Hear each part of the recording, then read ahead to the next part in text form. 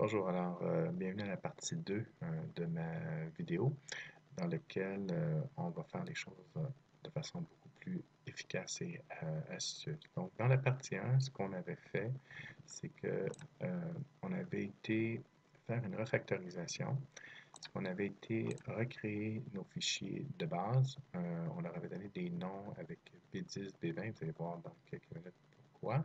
OK, on avait fait cette chose-là. Puis, euh, surtout, on avait été changer le nom du tableau pour qu'il ne soit pas différent d'un fichier à un autre, que ce soit toujours le même, pour nous permettre, euh, lorsque euh, on construit nos, nos, requêtes, de faire une duplication. Et si je veux rajouter une nouvelle requête, je pouvais juste la dupliquer.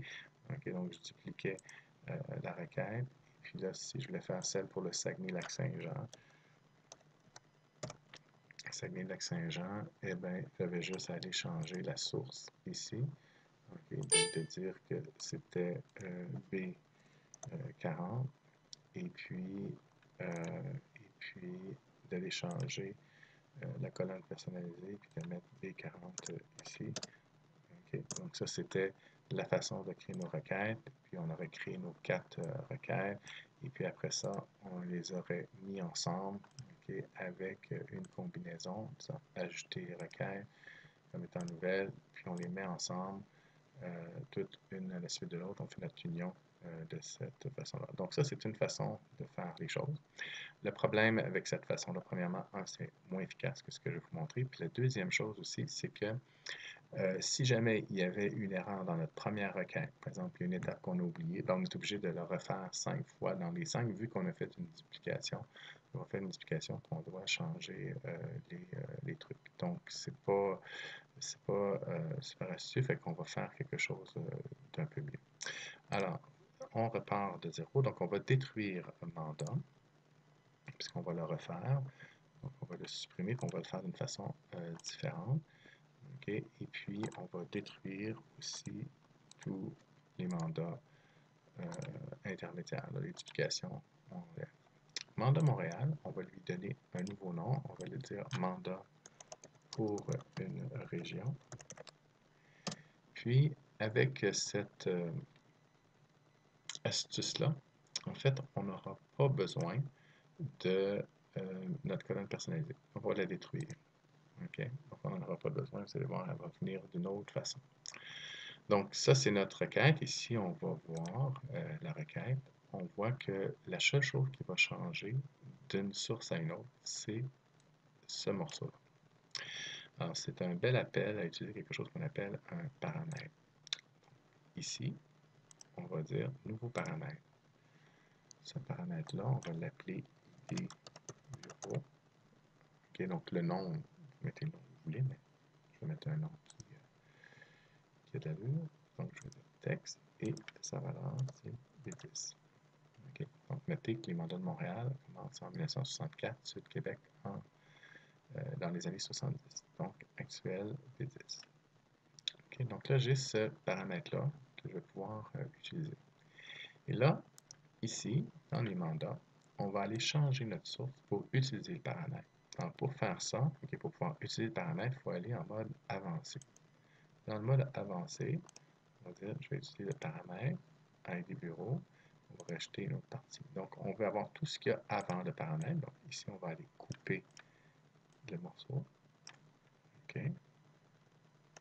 Et on va aller le coller ici. Donc, ce qu'il y a après le paramètre. Donc, le paramètre, c'est B10, donc j'enlève ça. Donc, j'ai ce qu'il y a avant le paramètre, le paramètre, qui est après le paramètre. Ici, on a un aperçu du URL, ce qu'il y a avant la du bureau, puis ce qu'il y a après. Voilà. Donc, on s'en va ici. On a le mandat de Montréal. Si on veut avoir les mandats de Québec, hein, on commence en 1964, et bien ici, on va aller dire B20. Et on va avoir les mandats de Québec, puis B30 pour les mandats de Saguenay-Saint-Jean, euh, etc. Donc, ça, c'est notre première chose. Donc, on a créé un paramètre, puis on l'utilise maintenant dans la requête. Cette requête-là, on va la convertir en fonction. Et on va appliquer cette fonction-là sur la liste des ID de bureau. Donc, on prend ça et on va dire créer une fonction. La fonction. Je vais dire vendeur, mandat pour région. Et elle prend le paramètre ID bureau. Pour faire une fonction, il faut qu'il y ait un paramètre. On en a un, donc c'est celui-là qui prend. OK. Donc, on a créé notre fonction. Maintenant, ce qu'on va faire, c'est que dans les bureaux régionaux, on a, hein, on a la liste des ID de bureaux. Donc, je vais faire une duplication. Ça, c'est important de faire une duplication pour une référence. Si vous faites une référence, vous allez avoir un problème là, euh, dans la prochaine étape euh, de, firewall de, données. donc, on va dupliquer. OK. Et euh, cette chose-là, je vais l'appeler mandat. OK. Puis en fait, j'ai plus besoin, je veux juste avoir la liste des bureaux. Donc, je vais enlever ça. OK besoin de ces colonnes-là. C'est juste pour avoir la liste des bureaux. Donc, j'ai la liste des bureaux, je sais, c'est dans mon fichier, j'ai la liste des bureaux, et sur ça, je veux appliquer la fonction qu'on vient de créer. Donc, pour chacune des entrées qui est ici, je veux appliquer la fonction qui va aller chercher les mandats pour la région B10, B20, B30, B40, B50. Et ça va ressembler beaucoup euh, à ce qu'on fait lorsque euh, lorsqu'on fait une, une, jointure. En fait, c'est comme une jointure, qu'est-ce qui va être fait. Donc, pour faire ça, on se met sur la colonne ici, puis dans Ajouter une colonne, on a appelé fonction personnalisée. Bon, c'est pas tellement grave le nom de la colonne puisqu'on va la développer. Euh, j'appelle le mandat pour région qui va prendre le paramètre ID bureau. Donc, ça a roulé mon, truc. Et puis là, ça, c'est comme lorsqu'on fait une jointure, lorsqu'on fait euh, combiner euh, fusion. Là. Quand on fait combiner fusion, on a quelque chose comme ça. Donc, on doit développer. on va aller ici, on va développer. Je ne vais pas utiliser le nom de la colonne. Je voudrais la date, la et le montant. Voilà. Donc, euh, j'ai exactement ce que j'ai besoin pour mes montants. Je vais déplacer les bureaux à la fin. Ça va ressembler à ce qu'on avait tantôt. Et là, il y a des petites précautions. Parce que lorsqu'on a fait cette chose-là, on voit qu'on n'a pas de, date. Donc, on va avoir un calendrier. Ça, c'est beau. Ça, OK, il n'y a pas de date trop certain. Je vais même modifier le type, je vais dire nombre décimal. OK. Et euh, je crois que je suis beau. OK, donc on a tous nos trucs. Euh, cette chose-là, important de la mettre euh, pas activée. OK, c'est le cas, on a nos quatre trucs ici. Voilà. Alors, on a fait notre euh, mais de façon beaucoup plus rigoureuse. Puis, l'histoire dans ça, c'est que si jamais on décide qu'on veut rajouter des étapes, OK, on a juste à aller changer notre requête et puis ça va changer sur l'ensemble de notre construction. Donc, euh, je suis maintenant prêt à faire fermer appliquer. OK. Donc là, il fait le travail. Et puis, ici, on voit un problème. OK, problème qu'on avait dans la première vidéo aussi, mais on va les corriger. Et la raison pourquoi on a ça, puis en fait, si on va voir d'autres rapports, c'est tout le temps le même nombre. Quand vous voyez ce problème-là, OK, vous devez avoir tout le temps le même nombre. Vous devez euh, allumé sur le fait que probablement il y a un problème dans le modèle. Et le problème est ici. c'est qu'il n'y a plus de liaison entre la table des mandats et des dates. Donc, on va aller refaire cette chose-là. Et ça devrait résoudre notre euh, problème. Donc, ça corrige les choses. Voilà. Donc, ça, c'était euh, l'astuce pour faire le travail. Donc, c'est beaucoup plus efficace que euh, la première euh, méthode. Et puis, ça a aussi l'avantage de pas avoir de duplication. Ce qui fait que si vous changez d'idée, demandez dans votre requête, puisque c'est des choses qui arrivent, là, c'est des petites requêtes de rien, mais dans une grosse requête, il y a des changements qui se passent, bien, vous n'allez pas le refaire euh, cinq fois.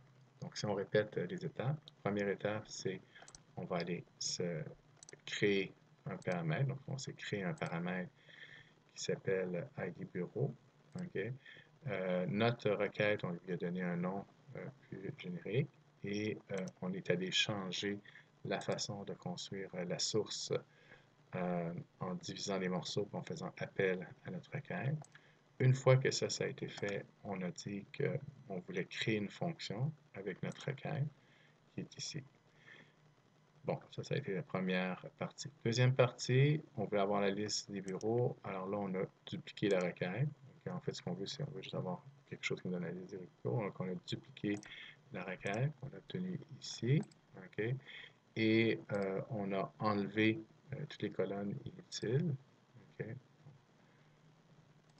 On s'est retrouvé avec ça. Et sur cette colonne-là, on a ajouté une colonne. On a mis une fonction personnalisée. La fonction personnalisée euh, qu'on a appelée, c'est la fonction qu'on a créée.